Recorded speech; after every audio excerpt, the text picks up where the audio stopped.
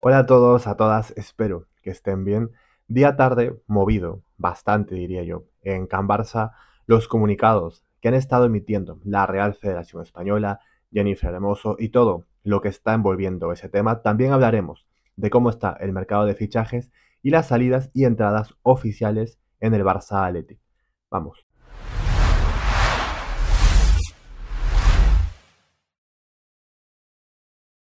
Como es habitual, tenemos la rueda de prensa de Xavi Hernández previa a este partido contra la Villarreal, donde ha empezado antes de las preguntas, que, esto nunca había pasado eh, desde que ha llegado al, Fútbol Club Barcelona, y ha dejado muy clara su postura justamente sobre este tema de Jennifer Hermoso y lo que pasó con Luis Rubiales, y dijo lo siguiente. Doy todo mi soporte incondicional a Jenny y a las jugadoras que viven este momento condenar la conducta inaceptable del presidente de la Real Federación Española y es una pena que no se hable tanto del Mundial. Espero haber sido claro y contundente. A mí me encanta que, haya dicho esto porque era lo que se debía hacer ante todas las personas que lamentablemente están apoyando el bando incorrecto y decían que Xavi nos, nos iba a mojar. Y bueno, lo ha hecho, ha sido más que contundente, de acuerdo en todo. Es más, yo siempre digo, ¿no? Dejo acá al final como la frase de, todo lo que mencionan y elijo una, al menos a mi gusto.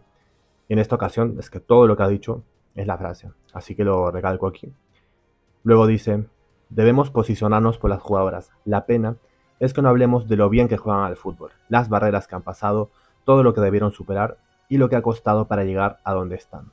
Que se solucione lo antes posible y hay que valorar a las futbolistas. Es que lo firmo todo. Tiene toda la razón. Mm, el foco se, desvió por un acto tan lamentable, que ya lo hablaré a continuación también, todo lo que ha estado pasando con este tema, pero lo dicho, estoy de acuerdo en todo con Xavi y me alegra, después de ver personas que yo pensé que se iban a posicionar al respecto, que él sí lo haya hecho. Así que sigue manteniendo todo mi respeto y no me ha decepcionado, al contrario, él ha hecho lo que se tenía que hacer y tiene más respeto y honor que nunca. Seguimos con lo demás que dijo, ya empezó más que todo en términos futbolísticos. Le preguntaron cuál era su opinión sobre el partido, qué, estrategia tenía, y dijo que era un partido muy igualado, que Setién tiene una idea de juego similar a la nuestra, aprietan bien y tienen un equipo técnicamente bueno y dotado, sobre todo en el medio campo. La clave estará en tener la pelota, intentar presionar su línea defensiva y recuperar pelotas en su campo. Es que es así, sabemos el juego que tiene Setién, o sea, si bien no lo pudo aplicar en el Barça, que hubo bastantes condicionantes, es un estilo muy similar al nuestro, que quiere la posesión, que quiere jugar prácticamente en campo contrario. Y como bien dice, creo que ahí justamente va a estar la clave, en este duelo del centro del campo y en el hecho de que van a, quien tenga más la posesión va a querer dominar el partido. Así que ojalá que sea nuestro equipo quien tome la iniciativa en ese sentido, ya iremos viendo cómo se desenvuelve el contexto. Luego también le preguntan una pregunta medio rara que, él tampoco la entendió. Si es que, ¿cómo se sentía en el Barça a pesar de ciertos, ciertas cosas que iban pasando? Yo no sé de qué cosas se refiere. Pero él respondió que está tranquilo, que está feliz, donde quiere estar, que el Barça es el club de su vida, sus amores. Es un privilegio y honor. Disfrutando al máximo, agradecido de la oportunidad. La temporada pasada fue muy buena y este año estamos con la misma ilusión de siempre, que, que nadie ha cambiado. Y también dice que lo sufre, también lo sufro cuando no hay resultados o no estamos a nivel de las expectativas que se generan, pero bienvenido sea este reto. Bueno, es así, ¿no? Me imagino que ser entrenador del Barça tiene su parte negativa, como positiva del asunto, de, la moneda, son ambas caras, pero creo que al final se compensa, ¿no? Evidentemente van a haber críticas porque es un club muy exigente, lamentablemente con un entorno tóxico, pero creo que está haciendo un gran trabajo no veo ningún momento por el cual se deba sentir mal al respecto. ¿Van a haber críticas constructivas? Sí, pero entiendo que se refiere quizás más por el lado de los ataques. Luego le preguntan, por ejemplo, ¿no? el rol de los jugadores, cómo, cómo lo está gestionando entre los suplentes y los titulares, y dice, los jugadores deben entender que no importa tanto ser titular o suplente. El último partido lo ganamos porque los que ingresaron desde el banquillo marcaron la diferencia. Por tanto, ya no es tan importante salir desde el inicio. A ver, aquí estoy de acuerdo y no. O sea, sí, está bien que, todos los jugadores al fin y al cabo tengan protagonismo y que quienes ingresen sepan suplir efectivamente a los titulares, ¿no? Que, que no se sienta tanto esa ausencia en el cambio de piezas dentro del campo. Pero es verdad que al final un jugador se va a sentir mucho mejor si parte en el once inicial, porque es, el hecho de sentirse importante. Ahora, está bien cómo lo gestiona, está bien el mensaje que, que está enviando, y ojalá que eso pueda calar en todos y que cada uno pueda comprender su rol a la perfección. Continuamos. También le preguntaron, ¿no? bueno, él añade, porque dice, la idea de juego no varía, es igual con extremos puros, un lateral o interior, hay alternativas. Creemos mucho en esta superioridad numérica en el mediocampo, no perder la pelota y ser pulcros. Nuestra idea pasa por dominar en campo contrario y hacer ataques posicionales. Bueno, me parece una muy buena lectura, un muy buen análisis, es justamente lo que él siempre trata de recalcar, ¿no? que, juega con extremos, que también el juego pasa por el centro del campo y que por eso suele poner 4, porque le gusta esa superioridad numérica. Creo que deja muy clara la idea y es lo que trata de justamente plasmar en el terreno de juego. Y por último, le preguntan sobre esa polémica arbitral que hubo en el partido del Madrid ayer y responde que esta liga costará ganarla siempre. Siempre habrán polémicas arbitrales y así como pasa con los entrenadores, me gustaría escuchar a los árbitros en el bar y ver lo que se decide. Así vemos lo que ocurre y qué realmente pitan lo que ven. Sobre todo que sean justos. Es que lo firmo, o sea, estoy de acuerdo. Así como les gusta ver, digamos, esas charlas entre el entrenador, los jugadores, o sea, lo que pasa en la, cuando finaliza la primera parte, ¿por qué no escuchar el bar? O sea, si quieren transparencia y que no pensemos mal, y que no haya alguna incitación a decir, que, o sea, a pensar mal directamente, a, que esto está mañado o que hay algún tipo de problema, alguna, algún favor, digamos. es que eso lo cambiaría todo. Y es que estoy de acuerdo. Ahora, si no lo implementan, deja mucho que pensar y que desear. Con respecto a los jugadores también, dio elogios públicos a Pedri, a Lewandowski, hacia Abde. Habló un poco del mercado de fichajes diciendo que todo está abierto hasta que finalice esta ventana de traspasos. Sobre su renovación, se mantuvo lo que dijo en la última rueda de prensa, que está de 10 y que no hay ningún problema, que no hay ningún apuro y que cuando llegue el momento ya tendrán justamente más novedades. Así que por lo demás, eso fue todo. Justamente ya tenemos convocatoria para este partido entre el Barça y el Villarreal, donde hay una gran novedad que la veremos ahora mismo. Y es que está este número, este dorsal, el 33, Pau Cubarsí, central de mucho presente y futuro con tan solo 16 años. Bien Xavi por convocarlo, más allá de que tenga minutos o no, es el hecho de que tenga su oportunidad con el primer equipo y va a ser una experiencia que va a sumar mucho a su carrera. Recordemos que ha renovado hace poco, así que es un factor importante. Entre las novedades también está Diego Cochen, que es portero del filial también, del segundo o tercer portero que va rotando. Ander Astrálaga también. Y por lo demás están los habituales, diría yo. ¿no? También figura eh, Marcos Alonso, que, ha sido inscrito, que figura ya en la página web de la liga. Y aprovecho esto para decir que hubo una información que decía que Valde tenía molestias, pero menos mal, ya había dicho que en principio está bien, que va a poder jugar sin ningún problema.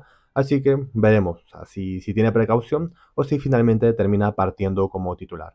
Entramos al tema de Rubiales junto a Jennifer Hermoso, quien emitió un comunicado conjunto junto a FootPro, donde se sumaban un total de 81 jugadoras, entre las cuales 53 son jugadoras en activo y 28 que no, donde manifiestan su apoyo a Jennifer Hermoso y su firme condena ante las conductas atentadas contra la dignidad de las mujeres.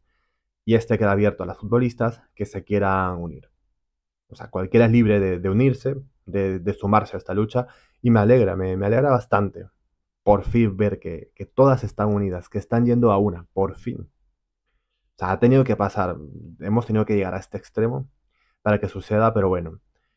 Mm, impecable Jennifer Hermoso, explicando todo, que, nunca consintió el beso, desmontando toda la mentira, toda esta pantomima que, que quiere armar Rubiales, y me alegra que realmente pueda tener el apoyo de todas. Y no solamente de las jugadoras de la selección, exjugadoras o quienes ya se han retirado, sino también desde todas partes del mundo. Luego, Jennifer Hermoso emite un comunicado en singular, es decir, ella sola, ya no conjunto, donde dejaba mensajes demoledores, contundentes, como los siguientes, donde decía, en ningún momento consentí el beso que me propinó y en ningún caso busqué alzar al presidente. No tolero que se ponga en duda mi palabra y mucho menos que se inventen palabras que no he dicho. Me sentí vulnerable y víctima de una agresión. Sencillamente no fui respetada. Es que es desgarrador. hasta me genera tristeza el hecho de ver que, un hito histórico como haber ganado un mundial ni siquiera puedo celebrarlo con tranquilidad. Y claro, se entiende porque también mencionaba que no quería opacar la, celebración con sus compañeras. O sea, y, hay que ser muy valiente para expresarlo en todo este contexto machista y misógeno, ante toda la presión y ataques que está recibiendo por parte de la Real Federación Española, está representando a las mujeres y haciendo historia. Es un gran ejemplo y referente y no más silencio ante las agresiones y abusos. O sea, sé que esta es una cuenta, un canal humilde, pequeño, pero desde aquí estamos contigo, Jenny. A todo esto no podía faltar la lamentable respuesta de, Rubiales mediante un comunicado con la Federación Española, que es una vergüenza, es, totalmente, es una falta de respeto, tratando de manipular, de tergiversar las imágenes con un edit de, Photoshop, con un montaje donde se ve claramente que lo es. Y peor aún, trata de vernos la cara de, tontos, porque todos hemos visto el vídeo, o bueno, casi todos hemos visto la secuencia, donde sucede eso y, en ningún momento Jennifer Hermoso lo carga. Por último, si así hubiera sido, no le da derecho a besarla. Es que es así. lo peor es que encima presionan en ese comunicado a las jugadoras para intimidarlas, que, es su obligación ir a la selección, porque como, o sea, enlazando esto con el comunicado que emitieron junto a FootPro, o sea, lo que decían también era que no van a, o sea, si es que la seleccionan, no van a asistir hasta que Rubiales y todos aquellos que están con él no sigan en el cargo, hasta que los máximos dirigentes se vayan. Claro, él no lo va a hacer. Bueno, por ahora, espero que, se vaya y que ese problema se erradique de raíz. Pero bueno, o sea, de mientras piensa que, nos va a manipular, pero no es así. Lo peor es que luego saca un nuevo comunicado negando lo evidente. O sea, encima culpando a Jennifer Hermoso. O sea, ¿desde cuándo la víctima es la culpable? A mí me, parece surrealista. Creo que solitos se están evidenciando y están demostrando la clase de personas que son. Luego, la FIFA, la FIFA, tampoco son el gran ejemplo, pero chapó por haberlo hecho. Ha inhabilitado a Rubiales por tres meses en su cargo y también que no se puede acercar a Jennifer Hermoso ni mencionarla tampoco acercarse a su entorno, o sea, me parece perfecto, o sea, es una gran medida en todo lo que demore en realizarse este proceso. ¿no? De mientras, Pedro Rocha va a ser el presidente interino de la Real Federación Española, pero es la mano derecha de Rubiales, así que es más de lo mismo. Por eso digo, el problema se tiene que arrancar de raíz. De nada va a servir que se vaya Rubiales si es que sigue manteniéndose esta gente al cargo. Y al final se van quedando solos, porque también ha renunciado el cuerpo técnico de Bilda, emitiendo este comunicado diciendo a varias de las integrantes femeninas del staff técnico se les obligó a colocarse en primera línea, exponiendo su imagen e intentando dar a entender a la sociedad y jugadoras que compartían las tesis del presidente de la Real Federación. Es otra vergüenza más y una medida de presión intimidante. O sea, lo, que, lo que quieren hacer es mostrar una realidad que no es. Y, es una vergüenza. Insisto, cada vez se quedan más solos y para que esto acabe, el problema se debe arrancar desde toda la raíz. Entramos al mercado de fichajes y es que Fabrizio Romano ha informado que Joao Cancelo, quien parecía que se iba a oficializar en estos días, que iba a llegar a la ciudad condal, a Barcelona, no ha sido así por ahora, y comenta lo siguiente, que se va a incorporar el Barça en los últimos días del mercado de fichajes. Todas las partes no sienten que el acuerdo esté en duda o que corra peligro, eso es importante, Simplemente aún se espera la aprobación del fair play financiero y el jugador espera pacientemente. O sea, lo dicho, nada que temer, todo ya está cerrado y solo va a ser cuestión de esperar su oficialidad. El Barça Athletic hace oficial la llegada y el fichaje a modo de sesión de Jaume Cuellar y así lo dice en este comunicado. Donde detalla lo siguiente, que el Fútbol Club Barcelona y el Club Deportivo Lugo han llegado a un acuerdo para la sesión del extremo por una temporada, hasta el 30 de junio de 2024 con opción de compra para los azulgrana. Bueno, creo que va a ser al final una pieza válida para Rafa Márquez. Es un extremo que se desenvuelve muy bien por derecha, que es desequilibrante y si lo ha pedido ha de ser por algo. que ha visto algo que, le puede aportar el equipo. Y lo dicho, ante las salidas que están habiendo en el filial, creo que va a ser un refuerzo interesante y habrá que ver cómo lo termina adaptando en este rol y esquema que quiere aplicar. Así como dije, es entendible que hayan entradas porque están habiendo salidas. Y una de estas ha sido la de Juanda, que ya es oficial y también el Barça Athletic lo dice en este comunicado donde dice que Juan es traspasado al Ostende. El Fútbol Club Barcelona y el KV Ostende belga han llegado a un acuerdo para el traspaso del delantero colombiano y el club se reserva un porcentaje de una futura venta del jugador.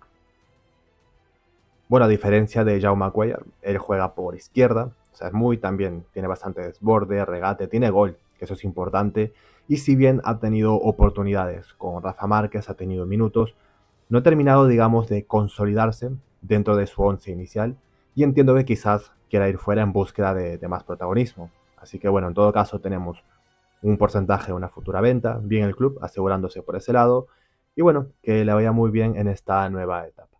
Así que nada, espero que les haya gustado el vídeo, si es así y han llegado hasta aquí, muchas gracias de verdad, aquí dejo mis redes sociales para que me puedan seguir, también se pueden suscribir y me estarían apoyando y ayudando bastante.